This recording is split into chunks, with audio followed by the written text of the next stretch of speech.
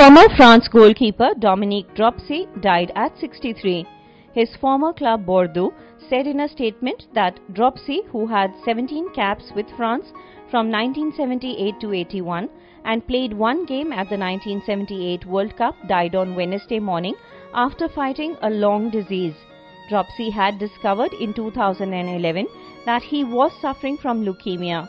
After starting his professional career with Valenciennes, Dropsy spent 11 seasons at Strasbourg, where he won the French league title in 1979. Dropsy joined Bordeaux in 1984, winning two league titles, two French Cups, and reaching the European Cup semi final in 1985. He ended his career in 1989 after featuring in 596 top flight matches and became Bordeaux's goalkeeper coach. Bordeaux paid tribute to a legend of the club that passed away.